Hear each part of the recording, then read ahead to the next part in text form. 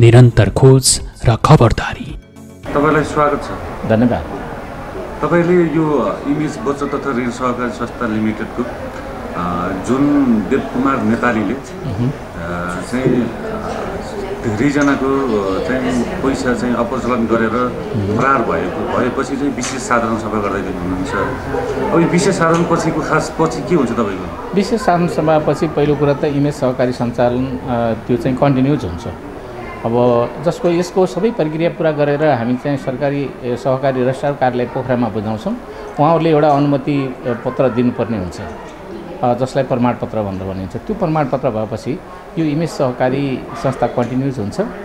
जसले गर्दा यो चाहिँ इमेज सहकारीबाट अपचलन भएर देवकुमार नेपाली लगायतका केही सञ्चालकहरूले गरेको अपचलन गरेको जुन सम्पत्ति छ त्यो सम्पत्ति ब्याङ्कहरूले लिलाम गर्न लागेको पहिलो चरण छ। यदि कुनै पनि हालतमा अहिले ब्याङ्कहरूले लिलाम गरिहाल्यो भने त्यसको चाहिँ बाँकी सम्पत्ति पनि कहाँ जाने त भन्दाखेरि चाहिँ देवकुमारसँग जाने हुन्छ किनभने यो सहकारी संस्था त छैन। संस्थाका नाममा ऋण छ सम्पत्ति चाहिँ देवकुमार नेपालीको छ। अब त्यो संस्थाको ऋण संस्थाले तिरेर भनेदेखि चाहिँ के हुने भयो भने त्यो सम्पत्ति यता आउने वातावरण बन्ने भयो अथवा उसले लिलाम गरेर रहेको बाँकी पैसा पनि अनि यदि संस्था भयो भने संस्थाको खातामा आउने भयो संस्था नै नरहँदा त्यो पनि देवकुमार नेपालीको खातामा जान सक्ने सम्भावना रहेकाले पनि हामीले चाहिँ यो संस्थालाई निरन्तरता दिनुपर्छ र संस्था ब्युताउनुपर्छ भनेर लागेको छ भने सँगसँगै देवकुमार नेपालीले आफ्ना चाहिँ अब कानुनी सल्लाहकार मार्फत यो भनिराख्नु भएको छ कि मसँग भएको यो सम्पत्ति संस्था भयो भने संस्थाका नाममा दिन तयार छु। त्यसकारण चाहिँ संस्थाको गति निरन्तरता गराइदिनुहोस्। भन्ने खालको कुरो उहाँको पनि एक किसिमको त्यो खालको आह्वान आएकाले पनि अनि हामीले धेरै प्रयत्न गऱ्यौँ। सरकारी निकायहरूबाट सम्भावना छ कि भनेर तर देखेनौँ। नदेख्दाखेरि अन्तत हामीले चाहिँ यो सहकारी संस्थालाई निरन्तरता गरेर जानुपर्छ भनेरै लागिरहेको छ। यो पछिल्लो क्रममा देवकुमारले जब तपाईँहरूले अब हामी संस्था चाहिँ बिउताउनुपर्छ भनिरहँदा देवकुमार फेसबुक लाइभमा आउने कहिले चाहिँ पत्रकारका माध्यमबाट चाहिँ सम्पर्कमा आइ- आइरहँदा। अब यो प्रहरी प्रशासनले पनि यसलाई ध्यान नदिएको जस्तो देखिरहेछ। तपाईँहरूले त्यसमा चाहिँ कतिको दबाब चाहिँ कतिको अँ देखिराख्नु भएको छ। यहाँहरूले चाहिँ राम्ररी देखिराख्नु भएको छ। हामीले चाहिँ प्रशासनले किन यति चाहिँ लुज गरिरहेछ? प्रशासनले किन यस्तो थाहा पाउन सक्दैन? आज पत्रकारले थाहा पाउन सक्ने अनि अरू आम चाहिँ अन्यत्रका मिडिया मार्फत चाहिँ उहाँहरूले जानकारी दिनुहुने तर हाम्रो चाहिँ अब यहाँ प्रशासनले थाहा नपाउने के हो भनेर हामीले अस्ति पनि यो अत्यन्तै अन्याय भयो भनेर हामीले चाहिँ अस्ति उन्तिस गतेका दिन पनि आँखामा कालोपट्टि बाँधेर एक घन्टा अब हामी चाहिँ किनभनेदेखि चाहिँ सयौँजनाले अब हजारौँ थियौँ अब जिल्ला प्रशासन अगाडि हामी धर्ना अस्ति पनि दिइराखेको अवस्था हो।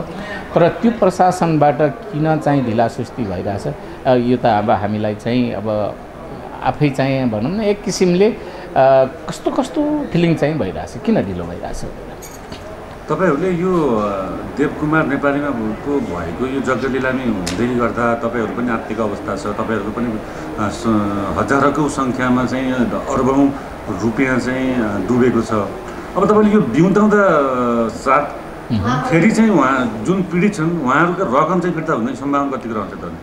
अब सबभन्दा पहिलो चरणको त हाम्रो काम चाहिँ सहकारी बिउताएर देवकुमार नेपालीले जे बोलिराख्नु भएको छ यो हिजो बचतकर्ताको सम्पत्तिबाट आर्जन गरेको सम्पत्ति जे जति छ त्यो म संस्थाका नाममा दिन चाहन्छु। त्यसका लागि वातावरण बनाइदिनु र संस्थालाई निरन्तर गर्नुहोस् भनेर उहाँले जुन भन्नुभएको छ भने यदि त्यो सम्पत्ति संस्थामा आइसक्यो भने हामी त्यसलाई अब बेचबिखनको बाटोमा कति लैजान क सकिन्छ के तरिकाले सकिन्छ अथवा संस्थालाई निरन्तर गरेर सकिन्छ अथवा स हामीले चाहिँ सबै बचतकर्ता र सेयर सदस्यबाट उठाएर सबै ब्याङ्कको पैसा चाहिँ हामीले तिर्दिएर त्यो सबै सम्पत्ति संस्थामा ल्याउन सकिन्छ।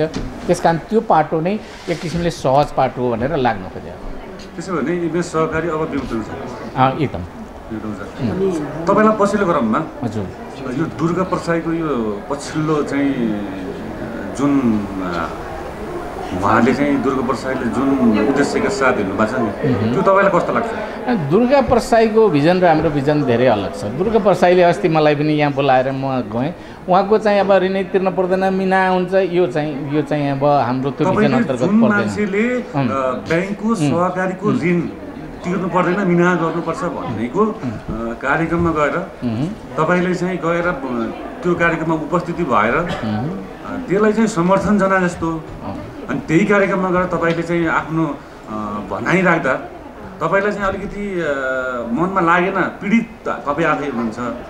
अझ जुन मान्छेले चाहिँ मिना गर्नुपर्छ भन्छ त्यही मान्छेको कार्यक्रममा गएर तपाईँ बोल्नुभयो। यो विषय चाहिँ बजारमा धेरै चाहिँ धेरैले चाहिँ तपाईँको आलोचना पनि गरेको देखिएको छ। त्यो हरेक मान्छेले बुझ्ने सेन्स दुईवटा हुन्छ। एउटा नेगेटिभ एउटा पोजिटिभ।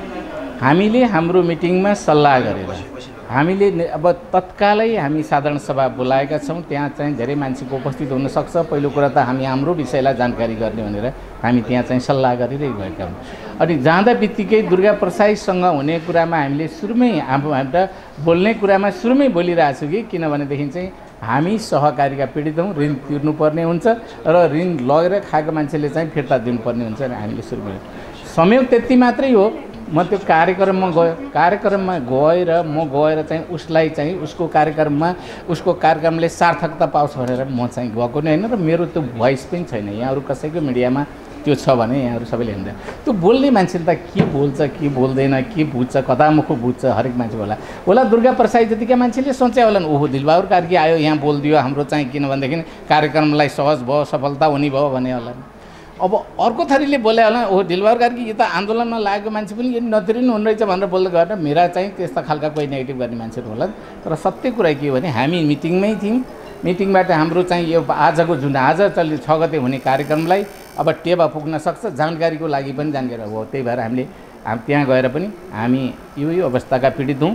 र हामीले चाहिँ यो छ गते यसरी कार्यक्रम गर्दैछौँ र लगेको पैसा तिर्नुपर्ने हुन्छ। जसले हो यो हो जसले हो तिर्नुपर्ने हुन्छ भनेर त्यो चाहिँ हाम्रो कार्यक्रमलाई प्रोत्साहन दिनको निम्ति नै हामी त्यहाँ पुगेका थियौँ। त्यस कारण को मान्छेले के भन्छ त्यसका लागि दिलबार कार्की कुनै त्यस्तो जात्रै समस्यामा आयो भन्ने खालको कुरो चाहिँ छ। पर्दैन वार्ता गर्ने भनेर अस्ति नै छलफल गर्दै होइन? वकिलसँगको वार्ता चाहिँ कहाँ पुग्यो? र यो विशेष साधारण सभा र त्यो वार्ताले केही तालमेल मिल्छ अथवा तालमेलकै क्रममा छ। अ, उहाँसँगकै सर सल्लाह अनुसार यी सबै कुराहरू अगाडि बढिरहेका छन्। यो चाहिँ तालमेलको यो चाहिँ यो सहजताको सँगसँगै सहजताको पाटो हो। वकिल पनि अब सँगसँगै सँगै हुनुहुन्छ।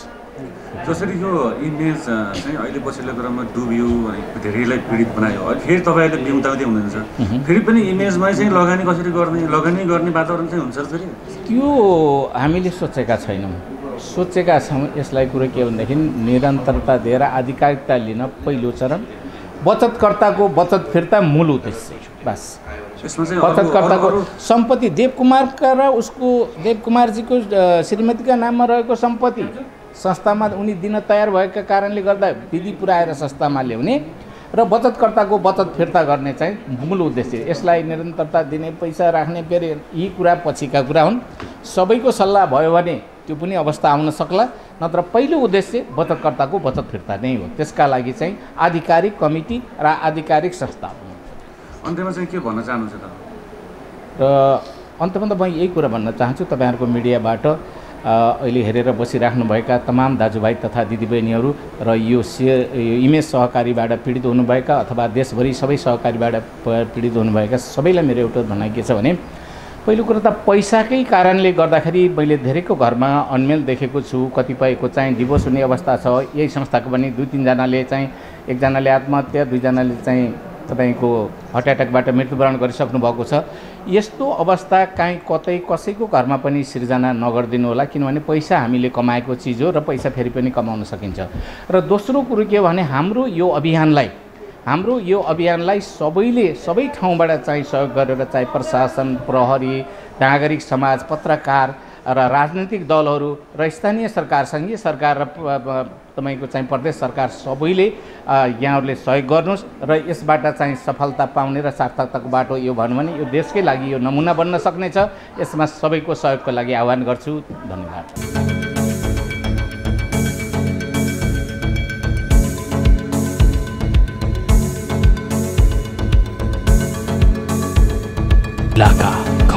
निरन्तर खोज र खबरदारी।